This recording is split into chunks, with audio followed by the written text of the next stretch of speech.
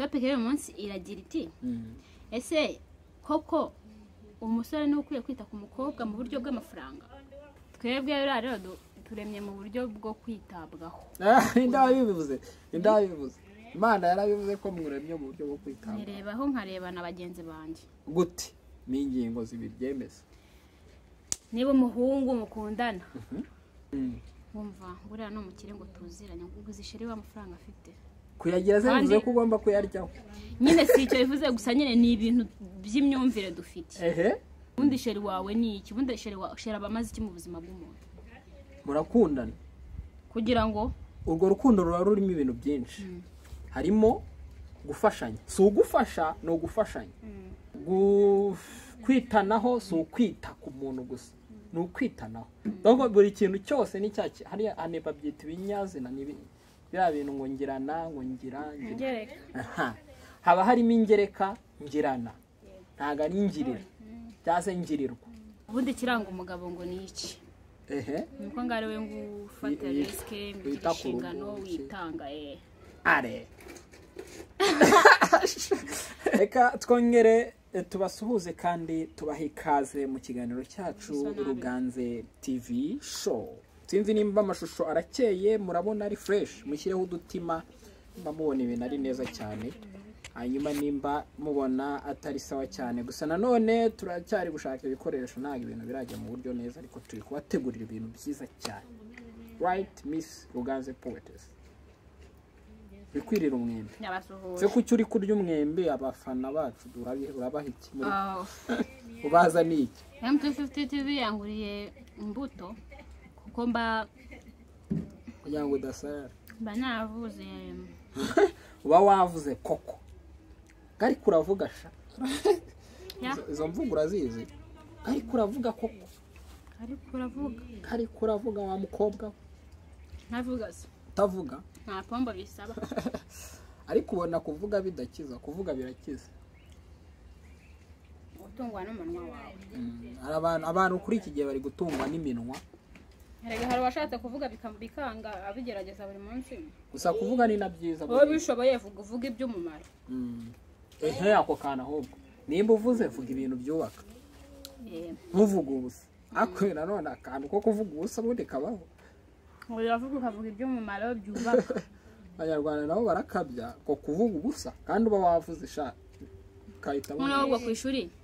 Hari igihe nyine hateraga inkuru ugatera inkuru bose bameze ngo bakwihoreye ugasoza hagashira umunota mwese mucecetse. Ukumva umwe aravuze. Ngo ubwo se uvuze iki nta kintu Gukotoza. reka twisuhurize abantu. Ariko ba iteka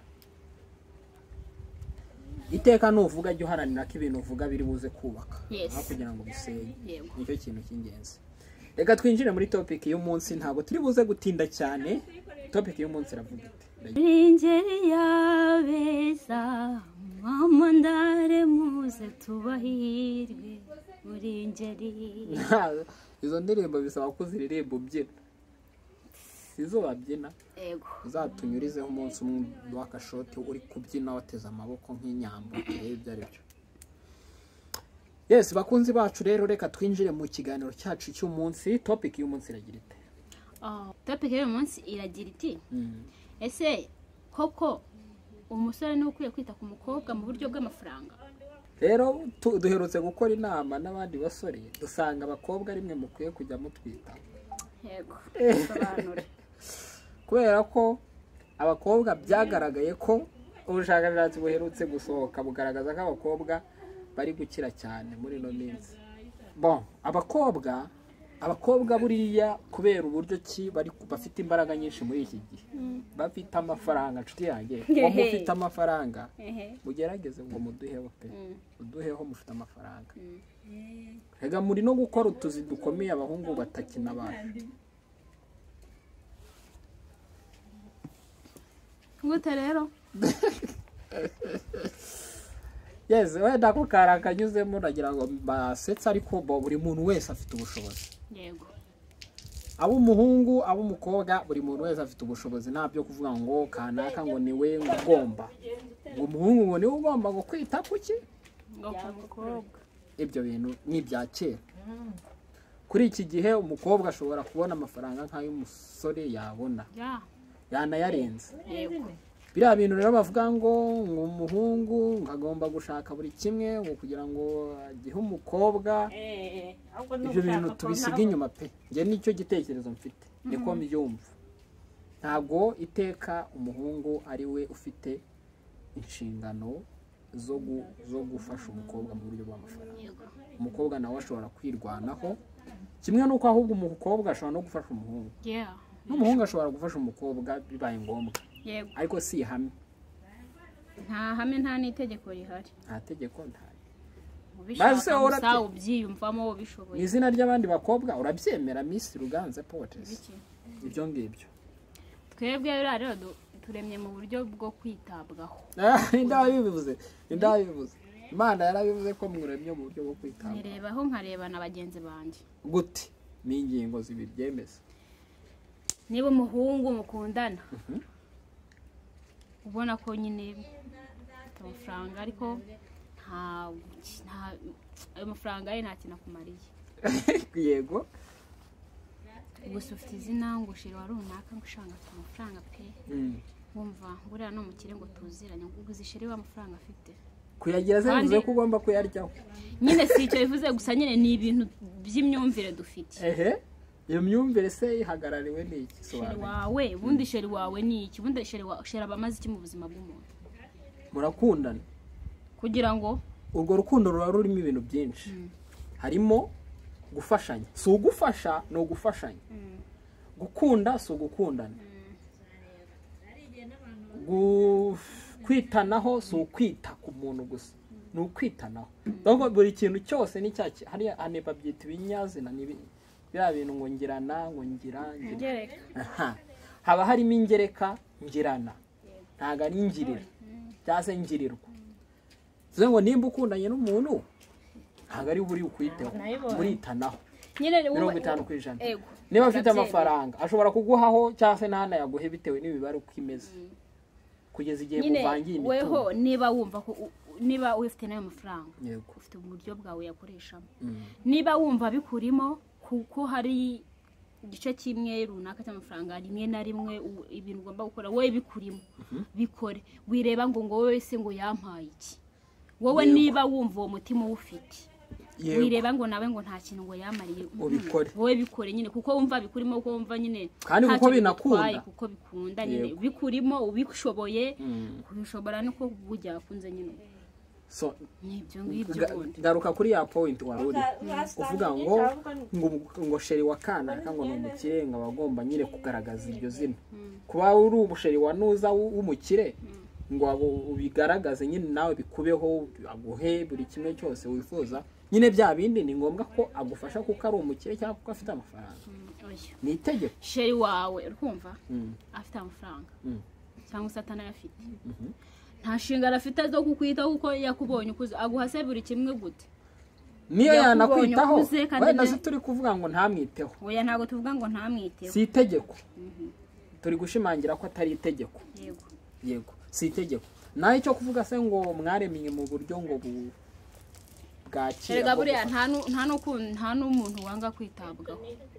Ariko n'umuhungu wamwitaho nyine ndavuga ngo ntawe ubyanga. Kumva. Cyane ko hari n'abakobwa baba bafite amafaranga. Mm, harenze uko abahungu ba- bagize. Mm. akajya pe amufasha utuntu tumwe na tumwe kuko abishaka yumva binamurimo. Ariko nyine iyo uciye ku ruhande usanga kubera ya myumvire wenda naguciye mu ijambo kubera ya myumvire ngo hari abakobwa aba afite amafaranga. Akayaha nk'umusore rwihishwa kugira ngo abe ari we umwitaho kuko bya bindi bivuga ngo umuhungu ngo ni we wita ku ngo mukobwa. eh, umugabo ubundi kiranga umugabo ngo ni iki? Ni uko ngo ari we ngo ufata risike ngo ugire inshingano witanga are. Waba uri sheri wanjye? Eh. Utanyitaho. Usohokane.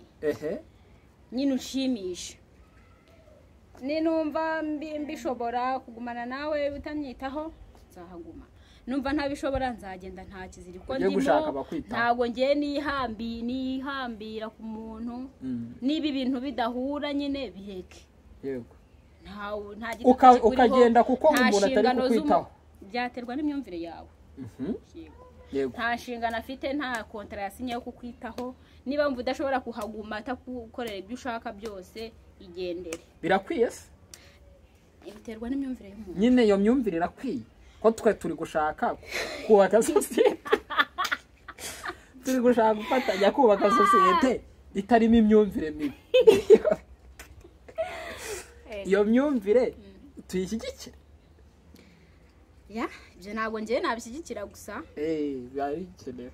Nawe ukeneye utuntu tw'utunoza ukeneye utuntu ku mu- ku muhungu ha? ntabwo wahita ubyanga ijana ku ijana. Mm. ariko gake kakaza. Gute? Uri kwanga nyine guhemukira bagenzi bawe b'abakobwa kugira tuba turashaka guca icyo kintu iyo myumvire yo kuvuga ngo ngo umuhungu ni we provider ngo umuhu- umukobwa akakira. Iyo Na- myumvire nakubwiye ngo buri wese ku ruhande rwe. Agira uburyo bwe atwaramo ibintu. Cyane ko ushobora no kusanga umukobwa runaka ukamuha sapoti mm, akakubwira ati sitopu mm, mafaranga rero yakoresha ibindi bintu. Ashobora kuyanga atari uko nyine adashaka gufashwa gusa aha. kwanga gusuzugurwa akantu kose akeneye umuhungu akamuha no. Avuga ati ngomba kwigira. Niba bikeneye se. Mm. hari igihe yemera akibangamira pe. Akabaho nyine. Aho naho biba byajemo akabazo. Nkeka ko nk'abantu bakundana muba muziranye uba uzi intege nke za mugenzi wawe mu buryo bw'amafaranga? Mm. undi nawe azi intege nke zawe mu buryo bw'amafaranga. Iyo ukeneye ubufasha wenda turakundana. Ni kubibona ko ukeneye ubufasha. Mm. kandi ndabona mfite ubwo buryo. Mm. nshobora kubikora. Nawe ushobora kubona nkeneye ubufasha. Ukaba wabikora kandi ubona ubishoboye. Icyo ni cyo twagashyize imbere kuruta kumva ko nubwo waba ufite ubwo bufasha? Mm. nubwo waba ufite ubwo bufasha